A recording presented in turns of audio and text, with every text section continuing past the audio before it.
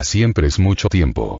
Jocelyn Davis vuelve a Nueva York luego de un terrible suceso familiar, después de cinco años de haberse ido sin despedirse de su mejor amigo de la infancia, Jake Johnson.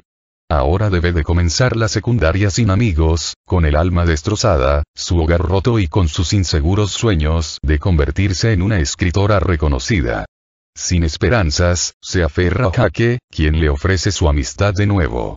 Pero ella no se imaginó algo. Se ha enamorado de su mejor amigo y lo más sorprendente, él se ha enamorado de ella.